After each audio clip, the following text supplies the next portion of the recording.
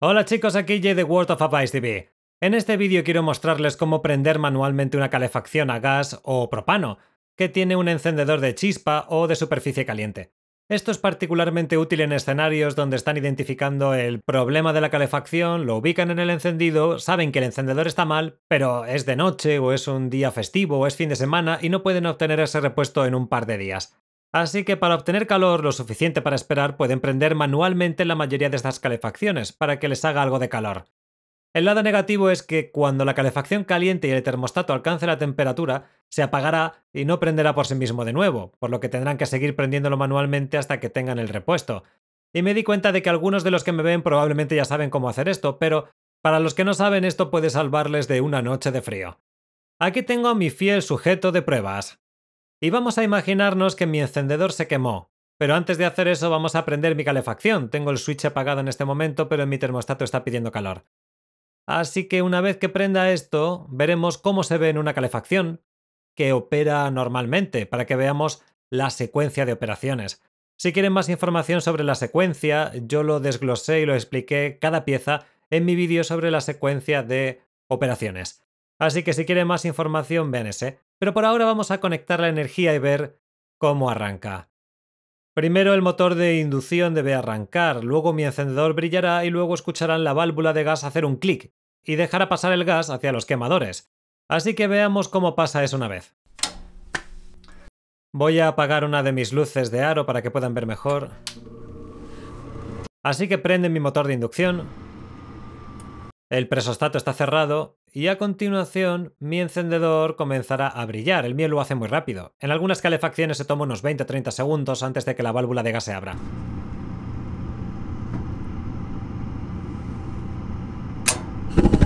Y ese clic que escucharon fue la válvula de gas abriéndose, deja que pase el gas y enciende todos los quemadores. Ahora bien, encienden rápidamente, pero lo hacen de uno en uno, comenzando por el primero. Aquí está la válvula de gas. Y viniendo por la tubería de gas, el primer quemador enciende ese primero y luego boom, boom, boom, boom, boom, muy rápido, de derecha a izquierda, desde el encendedor hasta el sensor de llama. Los enciende todos. Y ahora veamos cómo se vería si nuestro encendedor estuviera quemado. Simplemente lo voy a desconectar y ¡bam! Nuestro encendedor está quemado.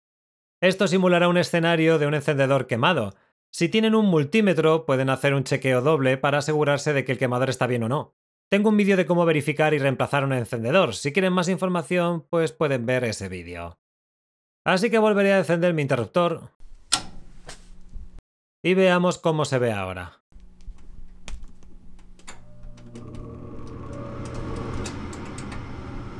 Una vez más, mi encendedor de inducción se prende, eso cierra mis presostatos y justo ahora mi encendedor debería estar brillando, pero está quemado, ya sabes.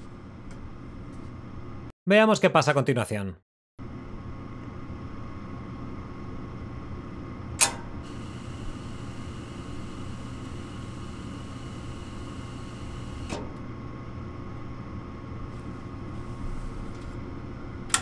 Ok, apago mi interruptor de nuevo. Lo que acaba de pasar es... El encendedor no prendió el gas, obviamente, porque lo tengo desconectado o quemado.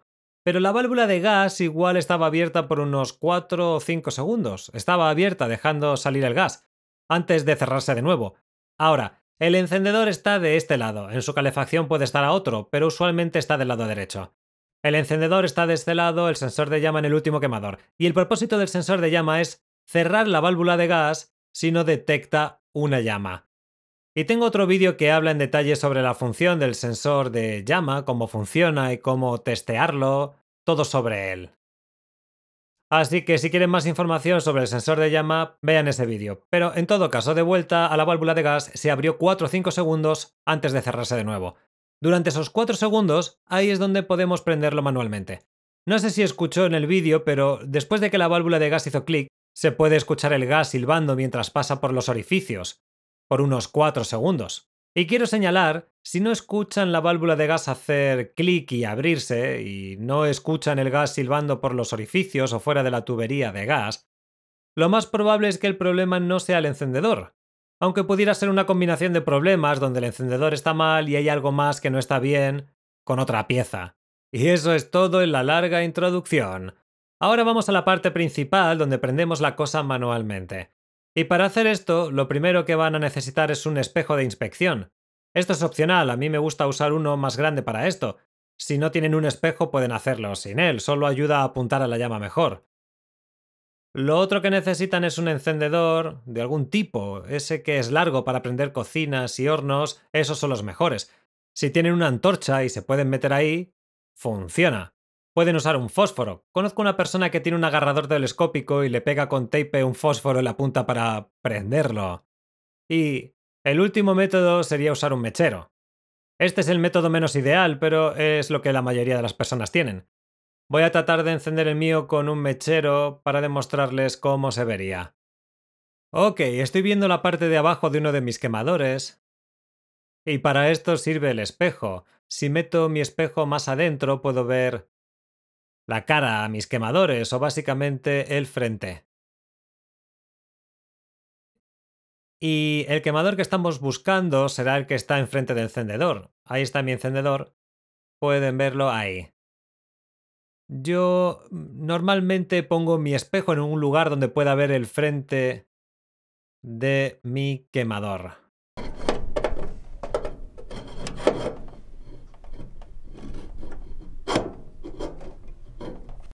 Justo así. De esa forma, cuando meta mi mechero ahí, sé que mi llama va a estar justo frente al quemador cuando lo esté encendiendo. Ok, voy a conectar la energía de nuevo y prender esto con un mechero. No puedo darles un acercamiento porque mi mano va a estar atravesada, así que solo tendrán la vista externa. Prendemos la energía. Estoy viendo el frente de mi quemador y sé que tengo que apuntar ahí. Tiene que ser muy cerca de ese quemador, de otra forma no lo va a encender.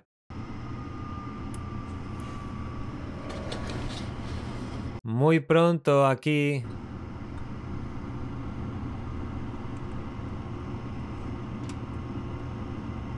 La válvula de gas debería estar abriéndose. ¡Bam! Encendió muy suavemente. Apagué mi corriente de nuevo. Pero básicamente lo que intentan hacer es, cuando esa válvula de gas se abre, tienen que tener el mechero ahí. Así que antes de comenzar a intentar prenderlo manualmente, lo que pueden hacer primero es apaguen la corriente y lo prenden y observen cuánto tiempo le toma abrirse a la válvula de gas. Ya saben, si son 30 segundos, cuentan mientras esperan a que abra. Luego reinicien la energía de nuevo y así saben cuándo poner la llama ahí. Vamos a intentarlo una vez más, esta vez sin el espejo y veamos si puedo prenderlo sin ver. Bueno, yo sé más o menos dónde poner la llama, porque ya lo vi. Pero hagámoslo una vez más.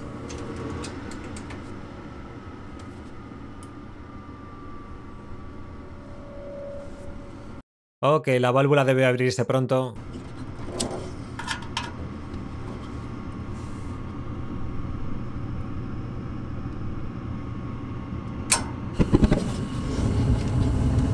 Ahí tienen, prendió muy bien, incluso sin el espejo, así que el espejo es opcional, pero por supuesto, algún tipo de llama tiene que tener para encender la cosa.